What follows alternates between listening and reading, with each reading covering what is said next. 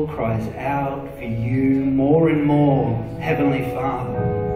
More of your presence, more of your power. We thank you, Lord, for your provision in our lives, but we, we cry out for more, Lord. More Holy Spirit. Your work is not done in our lives, in our communities, in our families, but Lord, use us,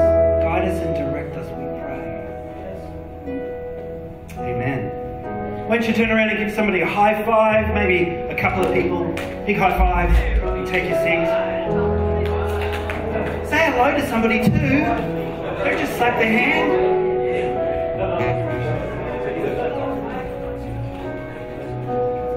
Welcome to our PM service. Isn't it great to be in the presence of God and celebrate what He's been doing in our week, in our lives? Welcome, my name is Justin. We use this time every service to connect with one another. So why don't you grab out your connection cards? They look a little like this. You'll find a pen also provided. Grab a hold of that. If you're visiting new at Hope, welcome. It's so great to have you here. Please fill in your name and email and contact details. We'd love for you to use this form to connect with us. If you're regular, just fill in anything that's changed. Pop your name at the top. And of course, for all of us, we want to celebrate what God has been doing in our lives. So please fill out your prayers, praise reports, and your prayer requests because together we want to pray for one another. We want to uphold each other in prayer through the week. We pray over each and every one of these connection cards through the week. So as you're filling out yours, I'll fill out mine.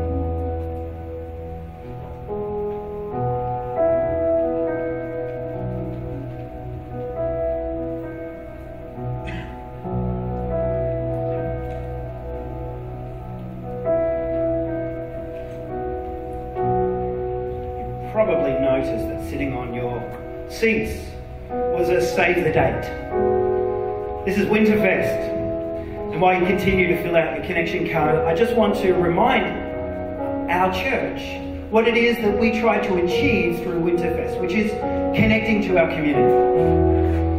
And what I love about connecting with our community is that we aren't just a church in a community, but we're a church of the community. And that's important because then we can be ambassadors. We can be connectors for God's kingdom.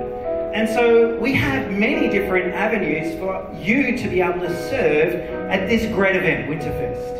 And it is on Saturday the 4th. So save the date. Come down and serve. You can be a face painter. You can get involved with kids' activities. You can help with cleaning up, packing up. You can help with ushering, whatever that might look like. Or maybe you just want some more information. There is a box for you to tick. Isn't it important to tick a box? It's fun to tick a box. So why don't you tick that box? And we'll serve our community together. Seeing God's light shine.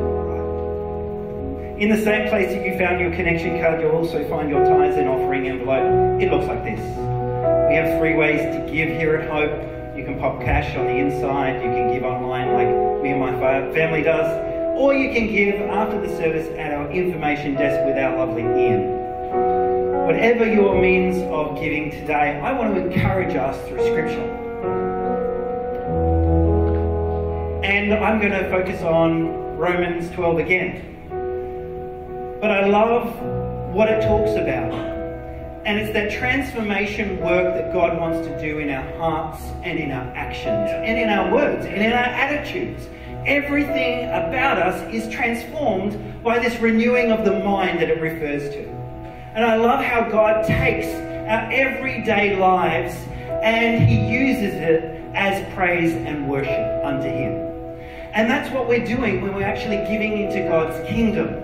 He's transformed us, renewing our minds, changing the way we think. We're no longer conforming to the patterns of the world, which says, mine, mine, mine.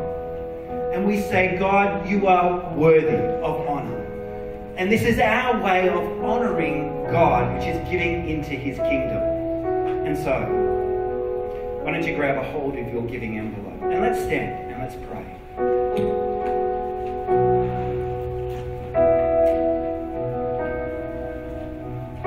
Lord, we thank you for the work that you have begun in our lives to transform, change us, rearrange us, rearrange our thinking, our words, our attitudes, but also the way we do life, including our finances. We thank you for every opportunity it is to bring you glory and bring you praise. And we pray as we deposit this, this praise, this glory unto you, Lord, that it might be used for your plans and your purposes beyond these four walls into our community to see salvation. We thank you.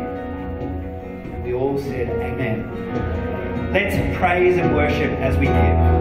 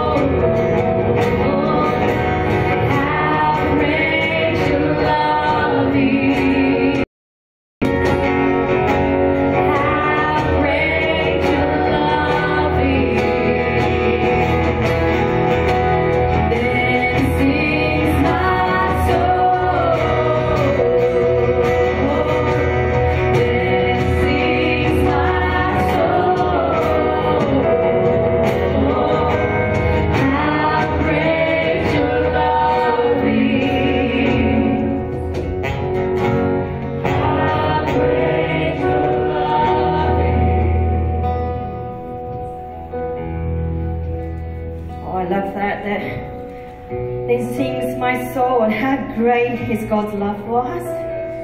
You know, we had an amazing morning already, but I'm just really tonight um, expecting God to bring breakthrough in your life. I'm really expecting God to bring encouragement and then rekindle the fire that within your spirit as He speaks into your heart, into your spirit, and stir you up and encourage you from His truth. And just as we are reminded of His perfect love for us. In Jesus' name, amen. Please be seated. So great to be back on the Gold Coast. When we left the Gold Coast a couple of months ago to go on a leave, it was not a winter. We come back and it's cold. So I have to get all my winter jackets out and cardigans out. But tonight, um, just my message called a power, love, and a sound mind. It's from 2 Timothy 1, 3 to 7. 2 Timothy 1, 3 to 7. And this is something God really deposited in, in my own heart, in my spirit in the last couple of months. As I was reading through the Second Timothy, First and Second Timothy, um, and I just want to share that encouragement God has deposited in my spirit. And I just really do believe that someone here tonight needs to hear the encouragement from God, needs to be reminded of that your amazing gift that God's giving to you, that needs to be stirred up and continue to be stirred up and used for His glory. So, two things my focus on the message today is first one is to stir up your gift. But the second one is when fear comes, to replace our fear with God's power, with God's love, and sound mind, which is discipline, self-discipline. So if you'd like to go to 2 Timothy 1, 3 to 7 with me. This is a Paul writing this letter to his spiritual son Timothy. It's actually at the towards the end of his life in a very cold dungeon in Rome where he's being arrested. This is his second arrest. The first arrest was a home arrest in Rome. He was released a couple of years later. This is his second arrest. This time he knows he's not coming out of it. This time he knows death is waiting just around the corner. And he's writing this letter as a spiritual father to Timothy, who is his spiritual son. This is like his final word to his spiritual son, encouraging, reminding him, stirring up, so the work of God can continue long after he's gone from here on earth. So 2 Timothy chapter 1, 3 to 7. This is encouragement to be faithful.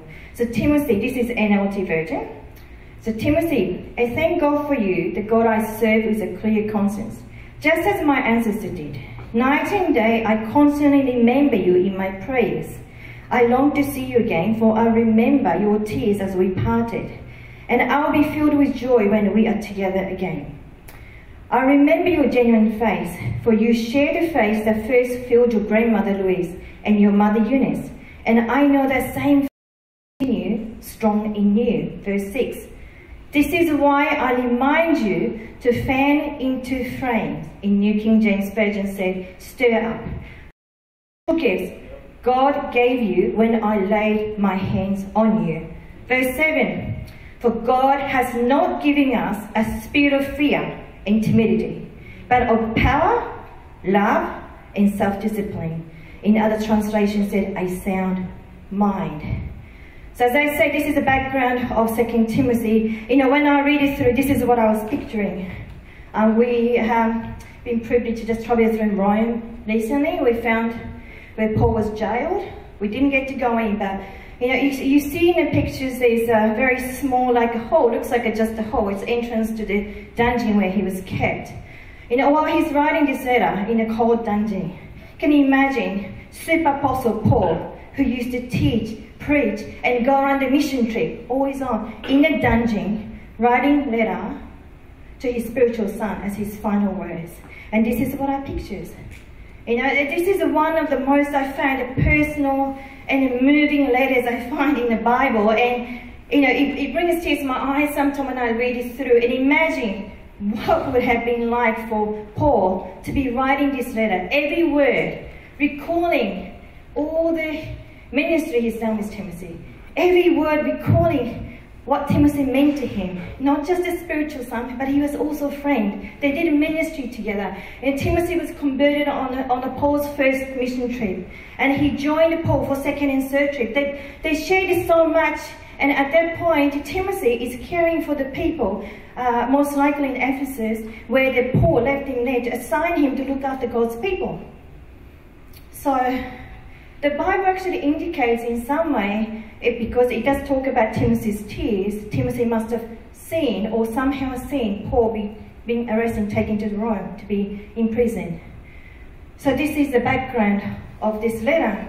And as a last word of a super apostle, if I was in his place, I think I'll be writing a letter of complaint to my friends. Can I be honest? I think I'll be telling them how cold it is to sit in a dungeon. I think I'll be complaining about the food is terrible if they are feeding him. I think I'll be complaining about the chains that is around me. But here, Paul using his God's given gift to stir up Timothy's yeah. spiritual gift. So that the truth and the gospel, the good news of Jesus, will go beyond his own life and lead the next generation. And this is my prayer tonight. God gives us, each and every one of us, a gift. And sometimes we become so timid, we shrink back using it and not fully understanding the gift is given by God for us, not for ourselves. I've been there. Um, to be honest, there's so many times I want to shrink back and I haven't shrunk back and not wanting to do what God, I knew that God called me to do certain things. I didn't want to do it. Why? Because I was scared. I was fearful. I was intimidated. And when I read through this passage that just only in the last couple of months, God really rebuked me. And at the same time encouraged me and said, I didn't give you a gift for yourself. I didn't give you a gift for you to keep it and nurse it. I gave it to you so that you may bring many more to Jesus Christ. So this is the heart of Paul here. Paul encouraging Timothy for the strengthening of Timothy's faith. So may you be encouraged also tonight and may your faith be strength. You know, whatever you're going through right now, this is a reminder for you also to stir up